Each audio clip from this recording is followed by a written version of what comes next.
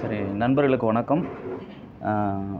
கதை அப்படின்னு சொல்லணும் அப்படின்னு சொன்னால் ரொம்ப சின்னது தான் நரை. நரை அப்படின்றது வெள்ளை முடி அப்படின்னு ஈஸியாக சொல்லி முடிச்சிடலாம். ஆனால் அவங்க வந்து நரைன்னு சொல்லும் பொழுதே நரை முடி விழுந்தது அப்படின்னு சொல்லுவாங்க. ஒரு மாதிரி ஒரு சோகம் இருக்கிற மாதிரி ஒரு உணர்வு எனக்கு வாசிக்கும் போது இருந்தது. அது ஒரு குறியீட்டு தன்மையோட அந்த நரை இருக்குது அப்படின்னு தோணுது. ஏன்னா அவர் அந்த இசையோட இதில் வடிவத்தில் வந்து அந்த சப்தங்கள் வந்து எவ்வளோ முக்கியமோ அதுமாதிரி அந்த நரை அப்படின்ற அந்த தலைப்பு அவங்க அதில் பயன்படுத்தியிருக்கிறது எனக்கு அப்படி எடுத்துக்கிற தோணுச்சு உள்ள கதைகளை வாசிக்கும் பொழுது. அதுலேயும் குறிப்பாக வந்து கதையை ரொம்ப சிம்பிளாக எடுத்துக்கிறோம் அப்படின்னு சொன்னால் ஒரு வழக்கறிஞராக இருக்கிறாங்க. அந்த வழக்கறிஞராக இருக்கக்கூடியவங்க அவங்க தொழில் ரீதியாக சில சிக்கல்கள் இருக்குது அது முடிஞ்சு அந்த பணி முடிஞ்சு அவங்க வந்து தன்னுடைய முடிக்கு வந்து மெஹந்தி போடுறதுக்காக வர்றாங்க. மெஹந்தி போடும் பொழுது ஒரு சம்பவம் நடக்குது. அந்த நிகழ்வுக்கும் வழக்குக்கும் தொடர்பாக இருக்கக்கூடிய ஒரு சம்பவமாக இருக்கிறது.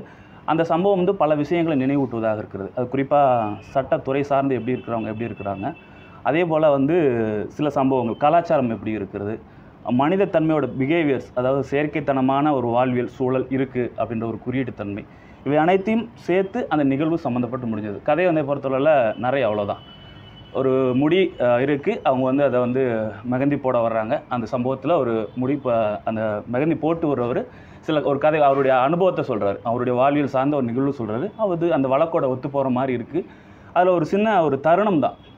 இப்போ வாழ்க்கையில் நிறைய தருணங்களை வந்து பார்ப்போம். அந்த தருணங்கள் வந்து சில விஷயங்கள் நம்ம வந்து கேள்வி எழுப்பி விடும். சிலது வந்து நம்ம யோசிக்க வைக்கும். ஓ இப்படி இருக்கா அப்படின்னு சொல்லிட்டு. இதுதான் இந்த கதையோட சாராம்சம்.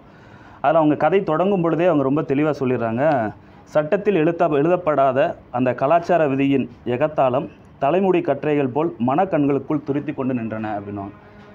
அந்த மன கண்களுக்குள் துருத்தி கொண்டு நின்றன அப்படின்னு சொல்லும்போதே ஒரு சிலர் வந்து உருவகப்படுத்துறது எப்படி இருக்குன்னா வெளியிலேருந்து ஒரு சொல்ல வர்ணனை பண்ணுவாங்க.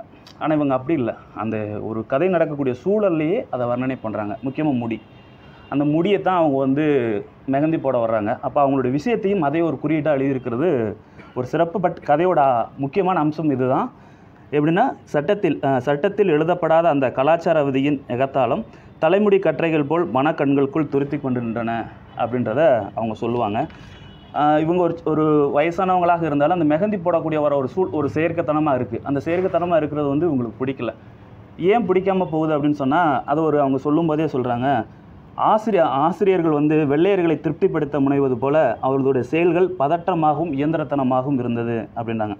இப்போ நான் ஒரு பியூட்டி பார் போகிறோம் அப்படின்னு சொன்னால் சிரிப்பாங்க.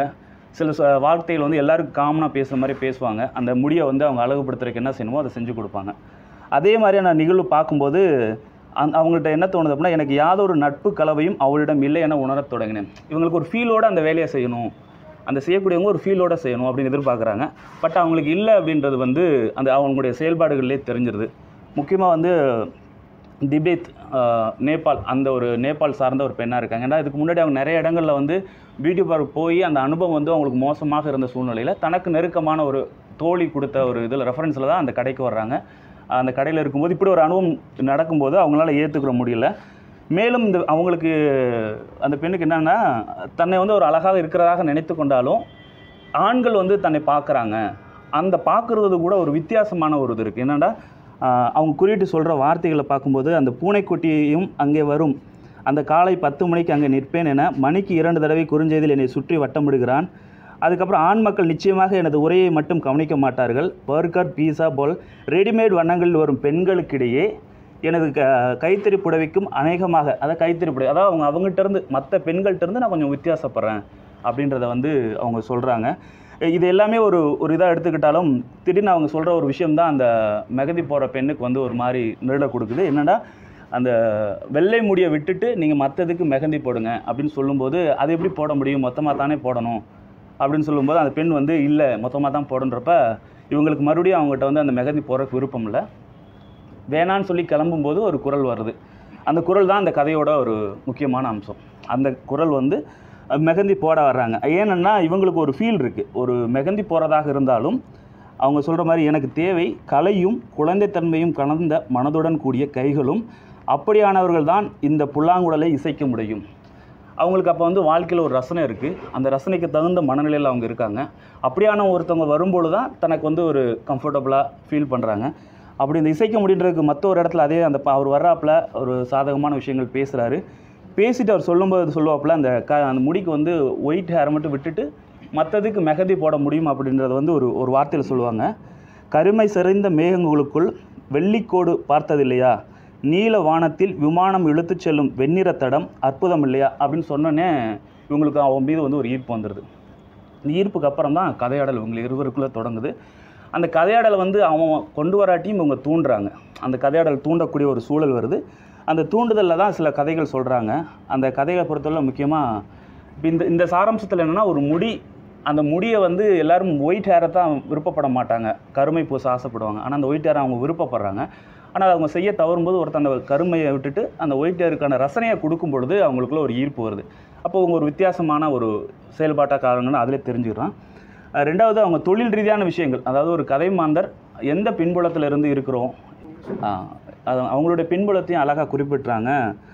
முக்கியமாக இந்த பின்புலம் வந்து எனக்கு எப்படி தோணுது அப்படின்னா ஒரு மனிதன் எந்த சமூகத்தில் போய் வாழ்ந்தாலும் அவன் அந்த கலாச்சாரத்துக்காக வெளித்தோற்றம் மட்டுமே இருக்கே தவிர அந்த அகம் மாறலை அப்படின்றத அவங்க வந்து அவங்க ரொம்ப ரொம்ப அழகாக சொல்கிறாங்க வழக்கறிஞராக இருக்கக்கூடிய அவருடைய சீனியர் பர்சனை மிஸ்டர் லேகனே ஐரோப்பிய வெண்ணிற கலாச்சார தோல் அணிந்து இலங்கையினுடைய சிகிரிய குகைக்குள் வாழ்ந்து வரும் சிறுத்தை அப்படின்னு சொல்லி தன்னுடைய சீனியரை சொல்லும்போதே அவர் என்னதான் மாடர்னாக இருந்தாலும் அவருக்குள்ள ஒரு கலாச்சாரம் வந்து இருந்து கொண்டே இருக்குது அது முக்கியமாக சொன்னால் இருபது ஆண்டுகள் இருபது வயது மூத்த ஒரு பெண்ணை வந்து ஒரு ஆண் விருப்பப்படுறான். அது வந்து என்ன அப்படின்னு சொன்னால் அவங்களுக்கு அங்கே இருக்கக்கூடியவங்களுக்கு அந்த குடியுரிமை பெறுவதற்காக.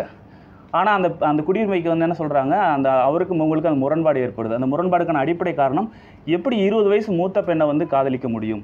அப்படின்ற ஒரு முரண்பாடு வருது.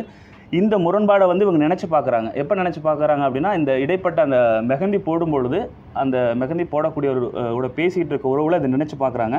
நினச்சி பார்க்கும்போது இவரும் ஒரு கதை சொல்கிறாரு அந்த மெஹந்தி போடக்கூடியவர் வந்து தூண்டி விட்டு ஒரு கதையை கேட்குறாங்க. அந்த கதையிலையும் அவர் சொல்லக்கூடியது என்னென்னா இந்த எழுத்தாளரை பொறுத்தவரை சில விஷயங்களை வந்து ஒரு கவிதையாக இருக்கக்கூடியதும் பார்க்கலாம். என்ன அப்படின்னா என்னுடைய பாட்டியினுடைய நரைமுடியை கூந்தல் ஆறடி நீளமானது. அதன் அவள் ஒற்றை பின்னலாக பின்னி எழுந்து நிற்கையில் இமயமலை தொடர் போல இருக்கும்.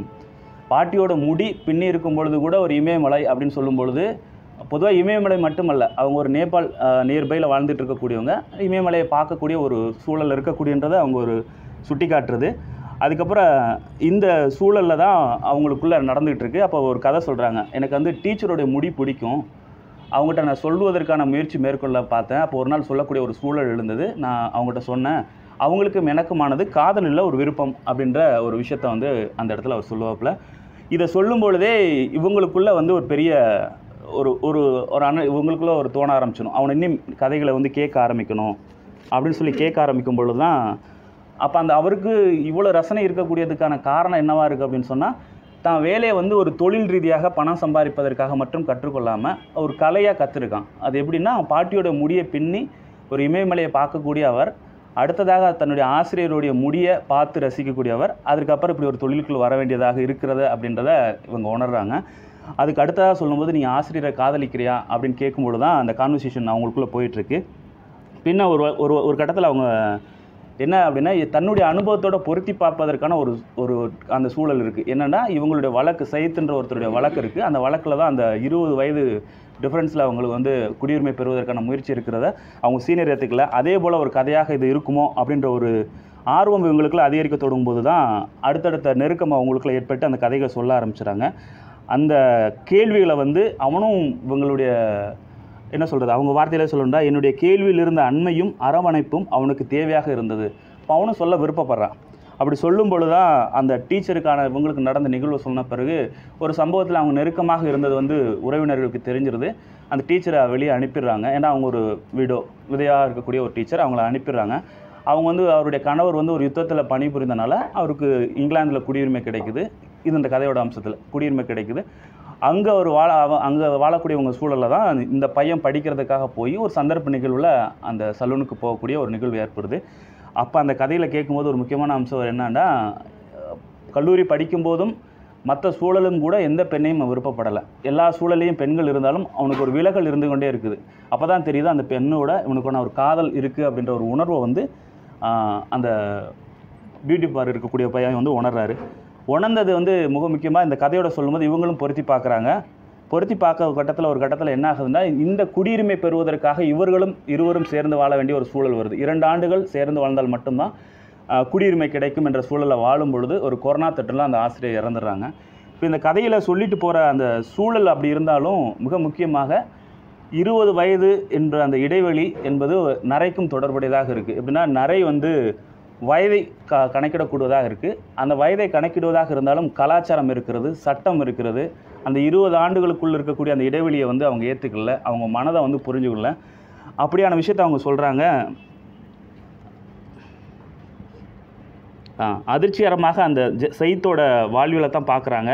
இந்த சட்டம் இந்த உறவை வந்து புரிந்து கொள்ள முடியவில்லை. ஒரு சில நிமிடங்கள் அவங்களா இணைந்து வாழ்ந்த போது ரெண்டு வருஷம் அவங்க சேர்ந்து வாழ்ந்திருக்காங்க. இருந்தாலும் அந்த சட்டம் அவங்கள புரிஞ்சுக்கல அப்படின்ற போது தான் ஒரு சிக்கல் அவங்களுக்கு தெளிவாக தெரிஞ்சிருச்சு. சையத்தோட வழக்கை குறிப்பிட்டு அவங்க எதையுமே பேசலை. ஆனால் ஒரு முடி திருத்த அந்த அழகுபடுத்த வரக்கூடிய ஒரு இடத்தில் அந்த அந்த பையன் சொல்லக்கூடிய கதையில் அந்த அதே இருபது வருடங்களுடைய இடைவெளி தெரியுது. அப்போ அந்த நரையோட ஒரு முக்கிய அம்சம் நான் பார்த்தது என்னென்னா ஒரு வாழ்வியலில் பெரிய தருணங்கள் வந்து ஒரு நாவலாக முடியும். ஆனால் ஒரு சிறுகதையில் ஒரு சில தருணங்களில் வந்து ஒரு கேள்வி எழுப்பிடுறாங்க. ஒரு ஆணுக்கும் பெண்ணுக்கும் ஏற்படக்கூடிய அந்த பழக்கம் காதல் என்பது வயது சார்ந்ததாக இல்லை. அவங்களுடைய மனம் அவங்களுடைய சார்ந்ததாக இருக்கிறது. ஆனால் இந்த சட்டம் அந்த சு சமூகம் அங்கீகரிக்கலை. ஆனால் சிலர் வந்து இந்த சமூகத்தில் எப்படி இருந்தாலும் அவங்களுடைய மனநிலையை பொறுத்தவரை இனியும் அந்த பழமையிலும் அவங்களுடைய கலாச்சாரம் சார்ந்த இதில் அந்த சூழல் தான் இருந்து கொண்டு இருக்காங்க அப்படிப்பட்ட ஒரு வாழ்வியலை வந்து பதிவு பண்ணியிருக்காங்க. முக்கியமாக சொல்லணும்னா நரை என்றது வந்து ஒரு கருப்பு வெள்ளை அப்படின்ற வாழ்வியலை ரொம்ப அழகாக சொல்லியிருக்காங்கன்னு சொல்லலாம். அதில் மிக முக்கியமாக அவங்க சொல்லியிருக்கிறது எனது மனதை படித்தது போல் கூந்தலையும் நன்றாக படித்திருக்கிறாய் அப்படின்றது தான் எனக்கு கடைசியாக புரிஞ்சு கொள்ளக்கூடிய ஒரே ஒரு விஷயம். இரண்டு நபர்களுக்குள் இருக்கக்கூடிய அந்த வயது அந்த காதல் இது எதையும் சட்டம் புரிந்து கொள்ள முடியலை அப்படின்ற ஒரு தருணத்தை கொஞ்சம் வெளிச்சமிட்டு காட்டியிருக்காங்க இந்த நரை சிறுகதையில் அப்படின்னு நான் பார்க்குறேன்.